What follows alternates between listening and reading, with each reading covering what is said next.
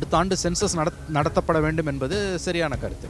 ஆனால் அதற்கு முன்பாக என்பிஆர் வந்து அதையும் நடத்தி தான் ஆக வேண்டும் என்று அவர் சொல்லுவதை ஏற்றுக்கொள்ள முடியாது. என்ஆர்சிஐ வந்து அஸ்ஸாமில் நாங்கள் மறுபடியும் அமல்படுத்துவோம்னு அமித்ஷா பார்லிமெண்ட்டில் பேசினார்.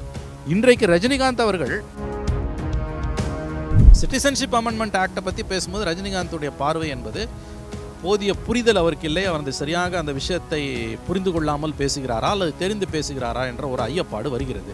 ஆகவே சிஐஏ என்பது அவசியமான ஒன்றுன்னு அவர் பேசுகிறார் இப்போ வந்து பூனைக்குட்டி வெளியில் வந்துடுச்சு. தமிழகத்தை மட்டுமல்ல ஏக இந்தியாவையும் பாதிக்கக்கூடிய பிரச்சனைகளில் அவர் பிஜேபியின் கருத்தை முழுக்க முழுக்க பிஜேபியின் கருத்தை அவர் எதிரொலிக்கிறார். பிஜேபி லைனை எடுத்து ரஜினிகாந்த் அவர்கள் பேசுவது என்பது முழு நேர அரசியலுக்கு அவர் வருவதற்கு முன்பாகவே அவர் பிஜேபியின் ஊதுகுழலாக மவுத் பீஸாக மாறிவிட்டாரோ என்ற ஒரு ஐயப்பாட்டைத்தான் கிளப்புகிறது. இது வந்து மக்களை ரஜினிகாந்த் கேவலப்படுத்துகிறார். தூண்டி விட்டா தான் மக்களுக்கு புத்தி இருக்கும் அவங்களுக்கே புத்தி இருக்காது என்ற நிலை என்ற எண்ணத்தின் அடிப்படையில் அவர் எதிர்க்கட்சிகளை குறை கூறுகிறார். கடந்த பதினைந்து இருபது நாட்களாகவே திரு ரஜினிகாந்த் கொடுக்கக்கூடிய எல்லா பேட்டிகளுமே விவாத பொருளாகி இருக்கிறது. இன்று காலை திரு ரஜினிகாந்த் மீண்டும் ஒரு பேட்டி அவர்கள் கொடுத்துள்ளார். திரு ரஜினிகாந்த் என்ன சொல்றார் அப்படின்னா சிஏஏ விஷயத்தில் நான் ஆதரவு கொடுக்கிறேன். அதே போல இஸ்லாமியர்களுக்கு எந்த பாதிப்பும் இல்லை. இங்கே இஸ்லாமியர்கள் பாதிப்பு ஏற்படுத்தப்படுவதாக இஸ்லாமியர்கள் பாதிக்கப்படுவதாக அரசியல் கட்சிகள் தூண்டி விடுறாங்க. மாணவர்கள் வந்து தூண்டி விடுறாங்க. அதே போல பீதியை கிளப்புறாங்க அப்படின்ற ஒரு வார்த்தையை பதிவு போடுறாரு. திரு ரஜினிகாந்த் சொல்வது என்னவென்றால் அதாவது இஸ்லாமியர்களை விரட்டும் நிலை வந்தால் முதல் ஆளாக நான் நிற்பேன் என்றும் பேசியிருக்கிறார். சிஏஏ விஷயத்தில் ஆதரவு என்பிஆரை ஆதரவு கொடுத்திருக்கிறார் திரு ரஜினிகாந்த். அவருடைய முழு பேட்டியை நாம் முழுமையாக கேட்டிருப்போம். திரு மூத்த பத்திரிகையாளர் மணி அவர்கள் நம்மிடையே இருக்கிறார். அவரிடம் கேட்டு பெறுவோம். வணக்கம் திரு மணி சார். திரு ரஜினிகாந்த் அவர்கள் காலையில் கொடுத்த பேட்டியை நீங்கள் பார்த்துருப்பீங்க முழுமையாக சிஏஏ ஆதரவு கொடுக்குறாரு. என்பிஆருக்கும் ஆதரவு தெரிவிக்கிறாரு. முஸ்லீம்கள் இங்கே விரட்டப்படும் நிலை வந்தால் முதல் ஆளாக நான் நிற்பேன் அப்படின்றாரு. அதே மாதிரி அரசியல் கட்சிகள் இங்கே இருக்கிற எல்லாரையும் வந்து போராட்டத்தை தூண்டி விடுறாங்க பீதியை கிளப்புறாங்க அப்படின்றாரு. திரு. ரஜினிகாந்தினுடைய இந்த பார்வையை எப்படி பார்க்குறீங்க சார்? என்னை பொறுத்தவரையில் இது எதிர்பார்க்கப்பட்ட ரஜினிகாந்திடமிருந்து எதிர்பார்க்கப்பட்ட ஒரு கருத்து தான். ஏனெனில் கடந்த சில மாதங்களாகவே அவர் வெளிப்படையாக முக்கியமான விஷயங்களில் பிஜேபியின் கருத்தை எதிரொலித்து கொண்டிருக்கிறார். இன்றைக்கு அவர் கொடுத்த அந்த பேட்டி அவருடைய வீட்டு வாசலில் நின்று கொடுத்தார் என்று நினைக்கிறேன். சுருக்கமான ஒரு பேட்டி தான் அது. அதில் முக்கியமான கேள்வி வந்து குடியுரிமை சட்ட மசோதா பற்றியது. That is C NP NRC அதன் பிறகு வந்து சிஐஏ தட் இஸ் சிஐஏ குடியுரிமை சட்ட மசோதா பற்றி அவர் மெயினாக பேசியிருக்காரு. முதல்ல அவர் பேசும்போது ஒரு விஷயத்தை என்ன சொன்னார்னா வந்து அவர் வந்து என்பிஆரையும் சென்சஸையும் மீன் பண்ணுறாரு அவர் வந்து சொன்னது வந்து அடுத்த ஆண்டு சென்சஸ் நடத்தப்பட வேண்டும். அது வந்து அதற்கு முன்னால் என்பிஆர் நடத்துகிறாங்க அது நடத்தி தான் ஆகணும் அப்படின்றார். அடுத்த ஆண்டு சென்சஸ் நட நடத்தப்பட வேண்டும் என்பது சரியான கருத்து. ஆனால் அதற்கு முன்பாக என்பிஆர் வந்து அதையும் நடத்தி தான் ஆக வேண்டும் என்று அவர் சொல்லுவதை ஏற்றுக்கொள்ள முடியாது. அதில் இன்னொன்று சொல்கிறார் அவர் ரெண்டாயிரத்தி பத்துலேயும் என்பிஆர் காங்கிரஸ் கவர்மெண்ட்டில் இருந்தது பதினஞ்சுலையும் இருந்ததுன்னு. அதில் இருந்த கேள்விகள் வேறு இப்போ இருக்கக்கூடிய கேள்விகள் வேறு. இன்னொன்று என்பிஆரை பற்றி பேசிய ரஜினி இன்னொரு விஷயத்தையும் தெளிவாக சொன்னார். அது என்னென்னா என்ஆர்சியை பற்றி முடிவு செய்யவில்லை என்று அவர் கூறியிருக்கிறார். அவருடைய பேட்டி நீங்கள் இந்த சுருக்கமான பேட்டி உன்னிப்பாக பார்த்தால் தெரியும் கூர்ந்து பார்த்தீர்கள் என்றால் தெரியும். இப்போ சிக்கலை எங்கே வருதுன்னு கேட்டிங்கன்னா ஏன் என்பிஆரையே நாம் எதிர்க்கிறோம் என்றால் என்பிஆர் என்பது என்ஆர்சிக்கான ஒரு முன்னோட்டமான நடவடிக்கையாகத்தான் பார்க்கப்படுகிறது. எப்படின்னா இந்த பிரச்சனையில் இந்த என்ஆர்சி வந்து முதன் முதல்ல வந்து அஸ்ஸாமில் அமல்படுத்தப்பட்டது. அங்கே என்ன மாடலில் இருந்ததுன்னு நீங்கள் கேட்டிங்கன்னா வந்து அப்ளிகேஷன் மாடல் இருநூறுக்கும் மேற்பட்ட சேவா கேந்திரங்கள் அமைக்கப்பட்டு நீதிமன்றத்தின் உத்தரவின் பேரில் அங்கே போய் மக்கள் நின்று தாங்கள் இந்திய குடிமக்கள் தான் என்பதற்கான ஆதாரங்களை கொடுத்தார்கள். இருநூறுக்கும் மேற்பட்ட சேவா மையங்களில் ஐம்பத்தி ரெண்டாயிரம் அரசு ஊழியர்கள். அதில் ப்ரிப்பேர் பண்ணப்பட்ட அந்த ரிப்போர்ட் அந்த குடியுரிமை லிஸ்ட்டில் பார்த்தீங்கன்னா சிட்டிசன்ஷிப் லிஸ்ட்டில் பத்தொன்பது லட்சம் பேர் விடுபட்டு இன்றைக்கி அதுதான் சிக்கலாக இருக்குது அவர்களை தங்க வைப்பதற்கான முகாம்கள்லாம் கட்டப்பட்டு இன்றைக்கு வந்து பிரச்சனை ஓரளவு சற்று அமைதியாகி அங்கே அப்படியே இருக்குது. என்ஆர்சிஐ வந்து அஸ்ஸாமில் நாங்கள் மறுபடியும் அமல்படுத்துவோம்னு அமித்ஷா பார்லிமெண்ட்டில் பேசினார். இன்றைக்கு ரஜினிகாந்த் அவர்கள் பேசும்பொழுது என்ன சொல்லுகிறார் என்றால் அவர் வந்து ஒரு விஷயத்தை அந்த வார்த்தையை சொல்லாமல் சொன்னது அடுத்த ஆண்டு நடக்கக்கூடிய சென்சஸும் அதற்கு முக்கியமாக அதற்கு முன்னோட்டமாக நடக்கூடிய என்பிஆரும் தவிர்க்க முடியாதுன்றார். சென்சஸ் தவிர்க்க முடியாதது ஆனால் என்பிஆர் தவிர்க்க முடியாது முடியாதது என்று ஒன்றும் கிடையாது. என்பிஆரை கண்டிப்பாக நாம் தவிர்க்கலாம். ரெண்டாயிரத்தி பத்து பதினைந்தாம் ஆண்டு உதாரணங்களை சொல்லுவது என்பது அவர் பிரச்சனையை திசை திருப்புகிறார். அங்கே இது போன்ற சிக்கல் என்பிஆரில் கிடையாது. இன்னொன்று சொல்கிறார் என்ஆர்சியை பற்றி அவங்க முடிவு செய்யலைன்றது அது ஃபேக்சுவலி கரெக்ட் ரெண்டாவது ரெண்டையும் விட முக்கியமானது வந்து என்னென்னு கேட்டிங்கன்னா வந்து சிஐஏ சிட்டிசன்ஷிப் அமெண்ட்மெண்ட் ஆக்டை பற்றி பேசும்போது ரஜினிகாந்துடைய பார்வை என்பது போதிய புரிதல் அவருக்கு இல்லை அவர் அந்த சரியாக அந்த விஷயத்தை புரிந்து கொள்ளாமல் பேசுகிறாரா அல்லது தெரிந்து பேசுகிறாரா என்ற ஒரு ஐயப்பாடு வருகிறது. சிஏல வந்து நீங்கள் பார்த்தீங்கன்னா வந்து நாட்டுக்கு அதாவது வந்து பங்களாதேஷ் ஆப்கானிஸ்தான் பாகிஸ்தான்லேருந்து வந்த இஸ்லாமியர்கள் அல்லாத மற்ற ஆறு மதத்தினர் அவங்க அந்த நாட்டில் ரிலீஜியஸ் பர்சிக்யூட் ஆகிருக்கணும் அவங்களுக்கு கொடுக்கலாம் என்று தான் இருக்கிறது.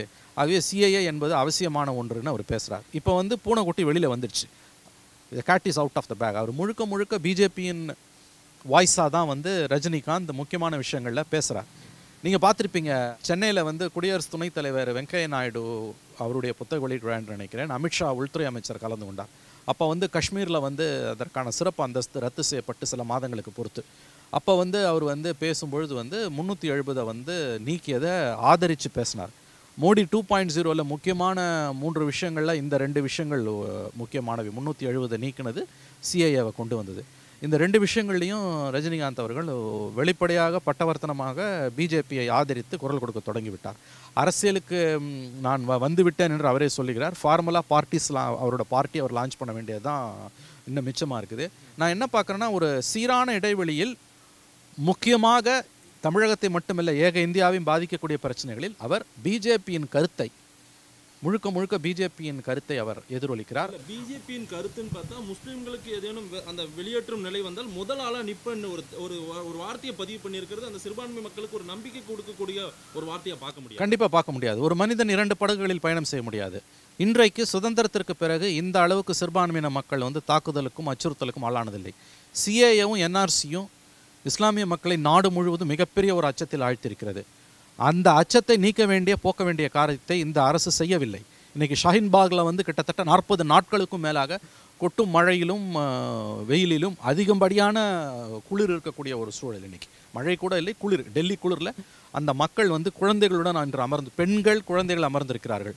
ஒரு பெண்மணி அவர் வந்து தன்னுடைய நான்கு வயது குழந்தையோ என்னமோ அதை வந்து நான்கு மாத குழந்தை அதை அந்த குழந்தை இறந்து விட்டது அங்கே இருந்து இறந்து விட்டு அதன் பிறகு மூன்று நாட்கள் பொறுத்து வந்து மறுபடியும் ஒரு போராட்டத்தில் கலந்து கொண்டிருக்கிறார். அதை பற்றியெல்லாம் ரஜினிகாந்த் எதுவும் பேசவில்லை. இஸ்லாமியர்கள் பாதிக்கப்பட்டால் சிஏவால் குரல் கொடுக்கும் முதல் ஆளாகத்தான் நான் இருப்பேன்றாரு. இது வந்து பிளேயிங் டு த கேலரிஸ்வாங்க இதை வந்து நீங்கள் ஒரு பக்கம் சிஏஏவை ஆதரிச்சுட்டு இன்னொரு பக்கம் அது பா பாதிக்கப்பட்டால் நான் தான் அவர்களுக்கு வந்து குரல் கொடுப்பேன் என்பது வந்து அவர் வந்து யாரை ஏமாற்றுவதற்காக பேசுகிறார் என்று தெரியவில்லை.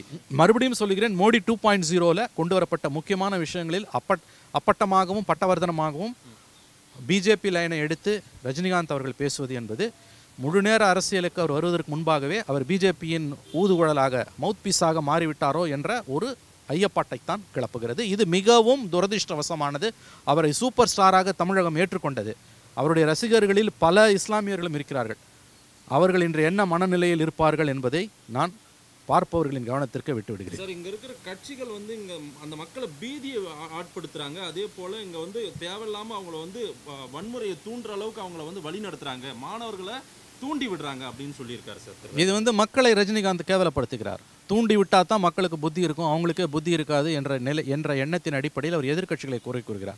இன்று நீங்கள் ஒன்றை கவனிக்க வேண்டும். பிரதான எதிர்க்கட்சிகள் சிஏஏவை என்ஆர்சி எதிர்க்கின்றன. இன்னும் சொல்லப்போனால் பிஜேபியான பிஜேபியின் கூட்டணி NDA National Democratic Alliance BJP தலைமையில் தேசிய அளவில் நாட்டை ஆண்டு கொண்டிருப்பது என்டிஏ அலையன்ஸ் அந்த பிஜேபியோட என்டிஏ அலையன்ஸில் இருக்கக்கூடிய ஷிரோன்மணி அகாலிதள் பஞ்சாபில் இருக்கக்கூடிய அந்த சீக்கியர்களுக்கான கட்சியும் ஜனதாதள் யுனைடெட் நிதிஷ்குமார் பீகாரில் முதலமைச்சராக இருக்கக்கூடிய அந்த கட்சியும் அவர்கள் சிஏஏவை ஆதரித்து நாடாளுமன்றத்தில் வாக்களித்தார்கள் மறுக்கவில்லை. ஆனால் வெளியில் வந்து அவர்கள் என்ன சொல்கிறார்கள் என்றால் தயவு செய்து இதை நீங்கள் அமல்படுத்தாதீர்கள் என்கிறார்கள்.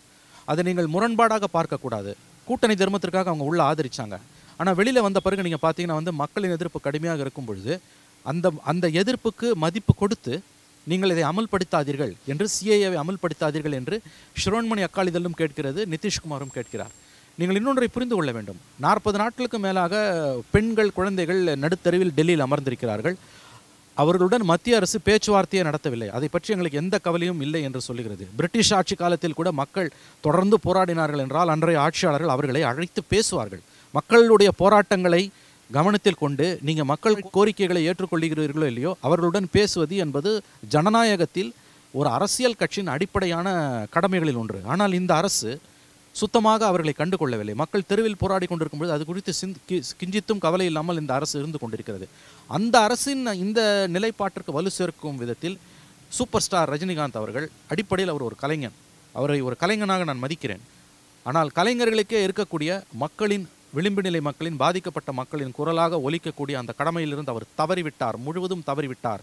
இதற்கு முன்பும் அவர் தவறி இருக்கிறார் ஆனால் இன்றைக்கு அவர் பேசி இருக்கக்கூடிய அந்த வார்த்தைகள் சிஏவை ஆதரித்து பேசி இருப்பதும் எதிர்கட்சிகள் எதிர்க்கட்சிகள் அவர்களை மு- முஸ்லிம்களை தூண்டி விடுகிறார்கள் என்பதும் முழுக்க முழுக்க தவறான ஒரு கருத்து. ஒரு கலைஞன் என்பவன் இப்படிப்பட்ட உண்மையான கலைஞன் என்பவன் இப்படிப்பட்ட வார்த்தைகளை பேச முடியாது. அனைவரையும் நேசிப்பவன் அனைவரின் நல்வாழ்வுக்காக உழைப்பவன் தான் ஒரு கலைஞனாக இருக்க முடியும். அதனால தான் நான் சொன்னேன் நாற்பத்தைந்து ஆண்டுகளுக்கு முன்பாக தமிழக சினிமாவின் முடிசூடா மன்னனாக எ- எம்ஜிஆர் சிவாஜிக்கு பிறகு இருந்து கொண்டிருப்பவர் நம்முடைய ரஜினிகாந்த் அவர்கள். அவர் ஒரு அடிப்படையில் ஒரு கலைஞன். ஒரு கலைஞன் நம் சமூகத்தின் சிறுபான்மையின மக்களாக கிட்டத்தட்ட பதினைந்து சதவீத மக்கள் இருக்கக்கூடிய இந்த நாட்டில் அவர்கள் உண்மையிலேயே அச்சத்தில் உறைந்து கிடக்கும் பொழுது அது குறித்து பேசாமல் அவர்களை கட்சிகள் தூண்டி விடுகின்றன என்பது அவர் இஸ்லாமிய மக்களையும் கொச்சைப்படுத்துகிறார் சிறுமைப்படுத்துகிறார் என்ற எண்ணத்தை தான் ஏற்ப ஏற்படுத்துகிறது. ரஜினிகாந்த் தன்னுடைய நிலைப்பாட்டை மாற்றிக்கொள்வது அவருடைய நீண்ட நாள் அரசியலுக்கு நன்மை பயக்கும் என்று நான் நினைக்கிறேன்.